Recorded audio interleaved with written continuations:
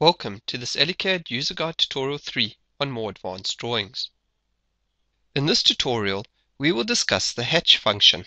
This function allows you to insert hatch patterns. You can also insert hatch patterns with islands and exclusions. If you've not already done so, check out our other tutorials. To begin with, you can either draw up something to add hatch to, or download the drawing used in this tutorial from the AllyCAD website.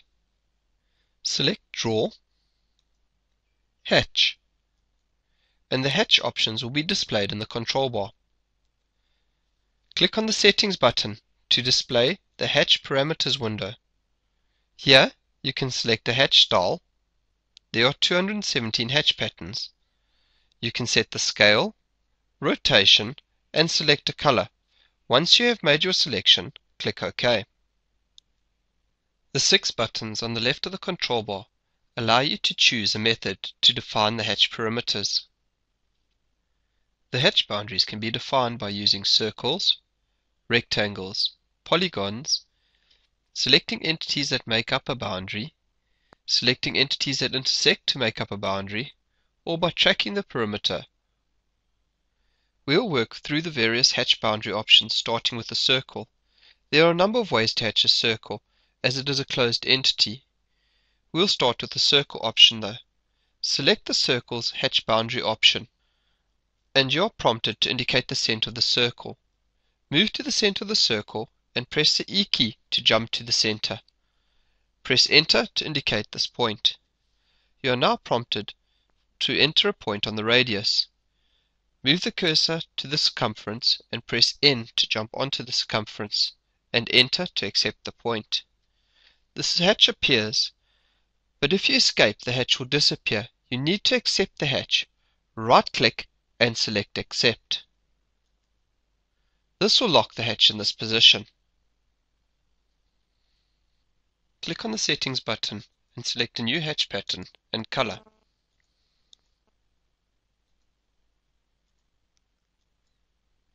We will now add hatch to a rectangle and add an island to it. Select the rectangle hatch boundary and you are prompted to indicate the first corner of the rectangle. Select the grab or snap and snap onto the top left hand corner of the rectangle. We are prompted for the second corner. Snap onto the bottom right hand corner of the outer rectangle and the rectangle is hatched.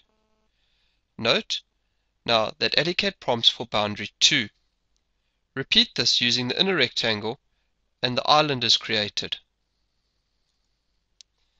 Right click and select Accept to lock the hatch pattern in this position.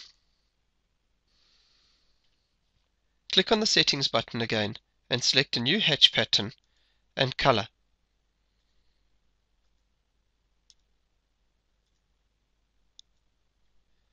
Select the polygon boundary hatch option and you're prompted to indicate the start position of the polyline.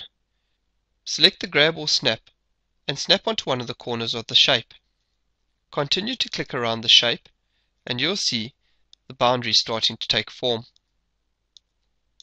Once finished, right-click and select Finished. Right-click and select Accept to lock the hatch in that position. The next example has been drawn as a closed polyline and has a circle.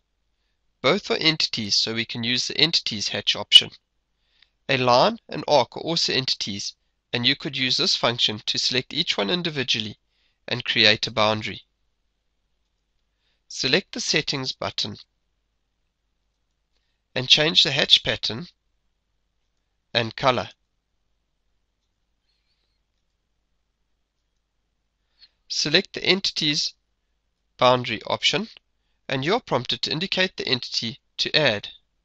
Click inside the rectangular shape. Right-click and select Accept. Right-click and Quit. Select Draw, Hatch, and the hatch options will be displayed in the control bar. This time, click on the Pick button and select one of the hatch patterns you would like to use that have already been used in the drawing. Select the Entities Hatch Boundary option again and click inside the circle and it is hatched.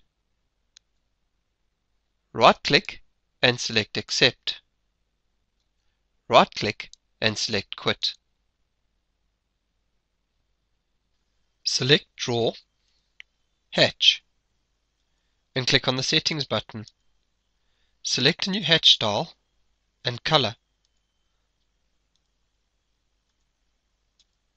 This time we'll use the intersection hatch boundary option. Click on the first entity and then on the entities as they intersect. If the entity you select does not intersect the last selected entity, you'll receive the following warning. Select the entities as they intersect and the hatch is added. Right click and click on Accept. Right click and Quit. Select Draw, Hatch and click on the Settings button. Select a hatch style and color that you would like to use and click OK. Click on the Automatic Tracking Hatch Boundary option and make sure that the track selection and the Detect Islands options are not selected. Click inside the perimeter of the area that you'd like hatched near the perimeter and the hatch is added. Right click and click Accept to set the hatch in place.